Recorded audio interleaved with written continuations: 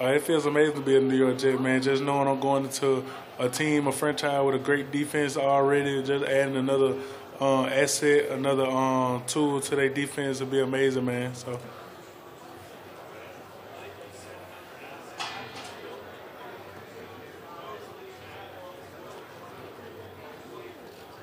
Um, it's amazing to be able to play with those guys, man. Those guys are great players, man. Franchise Pro Bowler players, man. That and just to go into a franchise knowing that I can learn from those veterans, learn from those older guys on how to be a pro on the field, off the field is amazing. And just knowing that I got C.J. Mosley there, uh, a person who I always look up to, a person who I always uh, ask for advice and fed off of and uh, looked up to and grew up watching uh, is amazing also. So.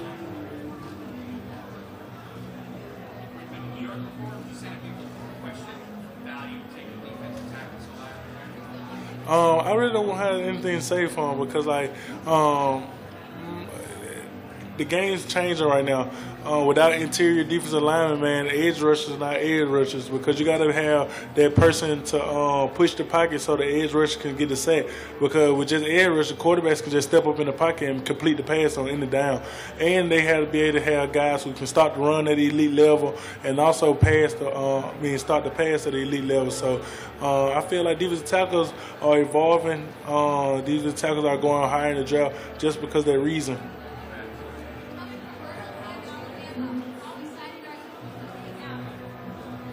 I'm very excited, man. I had visit um, New York uh, for a whole week. Uh, just to get a chance to see all the big things, see the Empire State Building, to see the like the 9/11 Memorial, and it's just been amazing, man. I've been, uh, I had loved uh, just going. I just hear a lot of things about it, man. Just me and my agent went and ate at different restaurants and ate at different things like that, and it's just been amazing. I'm uh, glad to be a part of New York Jets and get to experience that. Oh, for sure, man. Everybody like since I uh since I got drafted, everybody been saying like uh, about Tom Brady, man. Tom Brady, the goat, man. And uh, anytime you're going against somebody that's greater than Tom Brady, it'll be a, a, amazing to put his sack on your resume. But at that, but I want to sack every quarterback. Every time I go against a quarterback, I want to dominate every quarterback. So.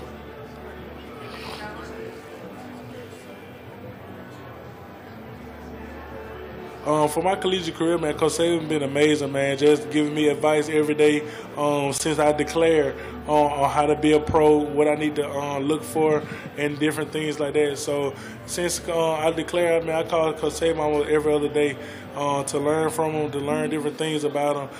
Uh, the NFL, to basically get the blueprint from it. So it's been amazing.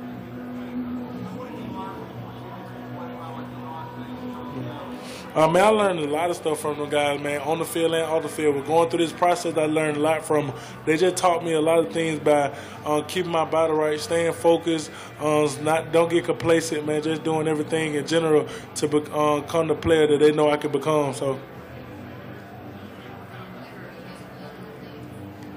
Um, I give a lot of advice to young athletes, but the most thing is stay focused. Uh, at an early age, I wasn't. Um, I had became focused on what I wanted to be when I grow up, what I wanted to do, and since then I've been pu- pushing and pursuing what I wanted to do. And it's not just becoming an NFL football player; it's becoming just a good player on the field, off the field, and just being a dominant player on the field and just hard working every day. So, as a young guy, I tell them, uh, find out what you love and do it to a passionate level. Oh man, I had a lot of conversations with Gregg Williams, man. With my visit there, man, I know that he knows Coach Saban very well. He's similar to Coach Saban, and he's a hard-nosed coach, man. I'm just ready to be able to play for him and with him. So, um, probably be the guys, man. I had um, the guys, man, in the locker room conversation and things like that. But being playing for Alabama, that brotherhood will always be there. So uh, I know those guys got my back just like I got their back 24/7. So. Sir?